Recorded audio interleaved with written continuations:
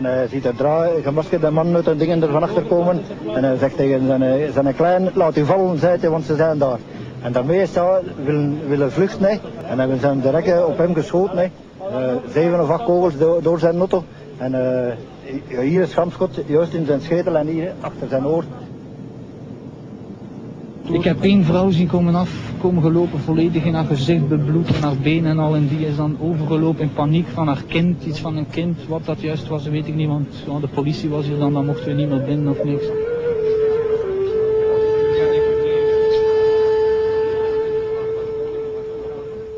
My name is uh, Martial McCur.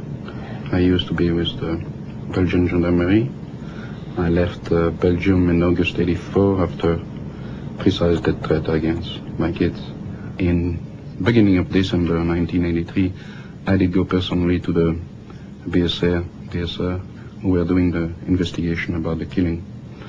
I was surprised that uh, no arrest had been made, and I knew that I did report myself what was going on, and we were expecting killing like that, a random killing, going to supermarket and killing people, even kids. I believe they killed about 30 people. So I told the gentleman I met, uh, Leo Lice, member of the gendarmerie or the army, are there involved in that. His answer was, uh, shut up, you know, we know. Uh, take care of your own business, get out of here.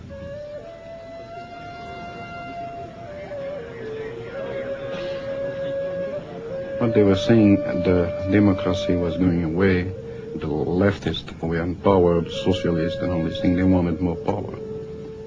Ces crimes avaient troublé profondément l'opinion parce que il ne paraissait pas être justifié par la seule considération du gain ou de ce que l'on pouvait prendre dans des grands magasins, que le meurtre gratuit et inutile d'une série de personnes pouvait procéder d'une intention politique qui rappelait celle euh, qui avait, euh, causé des ravages en Italie, euh, dans la guerre de Bologne, par exemple, l'attentat qui avait fait 80 morts parmi des victimes totalement innocentes.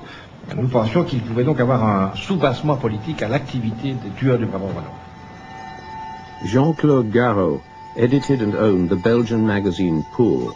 In its pages, he ran a series of exposés of Belgian neo-fascist groups.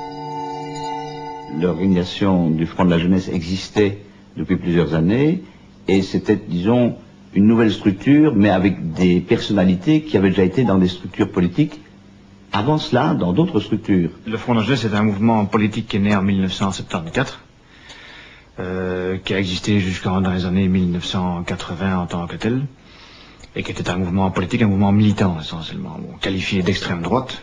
Hein, bon, euh, mais qui était essentiellement un mouvement de jeunes et un mouvement militant. Il y a eu euh, Jeune Europe, il y a eu euh, Front de la Jeunesse, et puis ça a encore changé.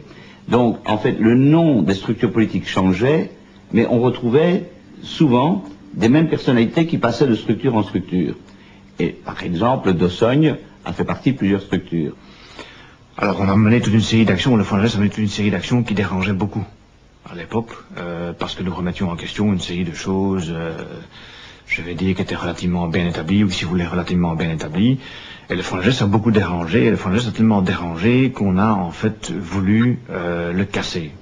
On soupçonnait qu'il y avait un centre nerveux décisionnel qui était entouré de cercles successifs qui déléguaient des tâches à chacune d'entre elles, avec naturellement un problème. C'est que plus les tâches étaient déléguées, quand elles arrivaient au cercle périphérique éloigné du centre nerveux, il y avait des erreurs.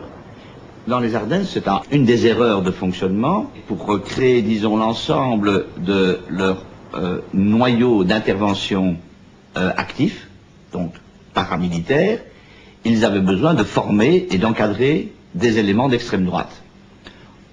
Euh, anciens paracommandos, euh, anciens militaires, membres de la gendarmerie, euh, militants d'extrême droite. On a condamné les militants du Front de la Jeunesse pour avoir tenu des camps soi-disant paramilitaires.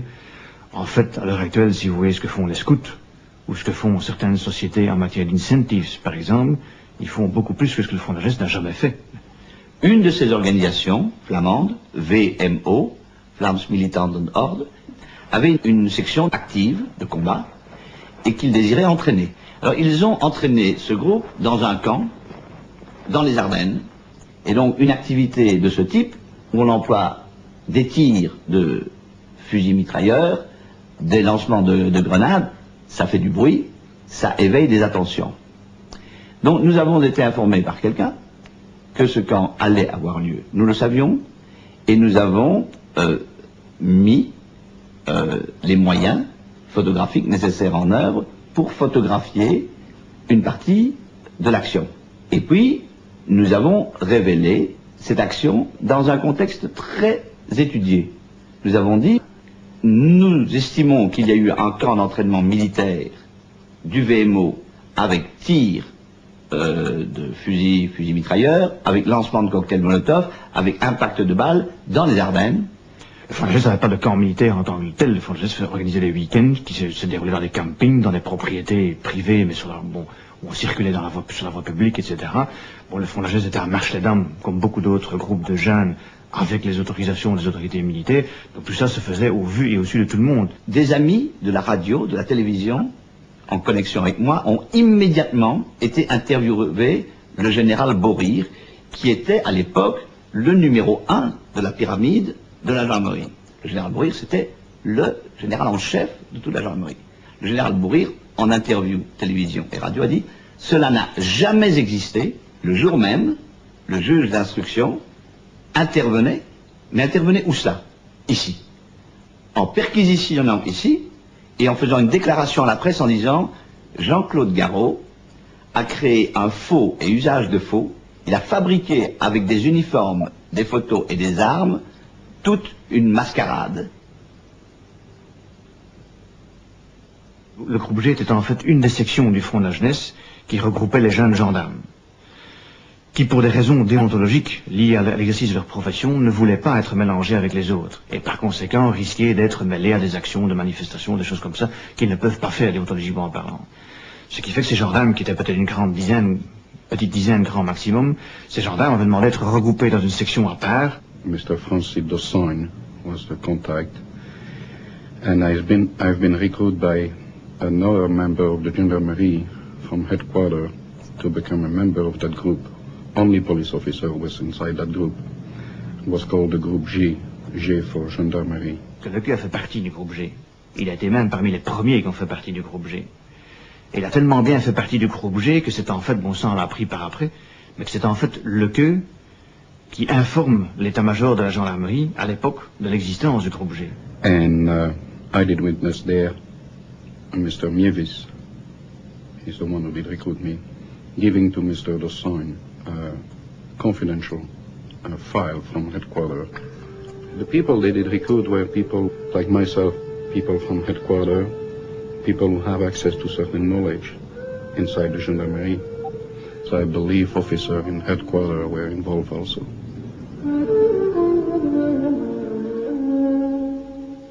Paul Latinus a été découvert, euh, alors qu'il était inconnu, lors d'une de mes interviews par hasard.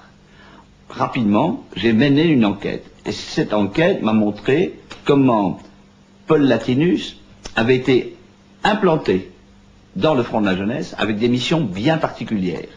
D'apprendre au Front de la Jeunesse comment s'organiser dans des actions violentes.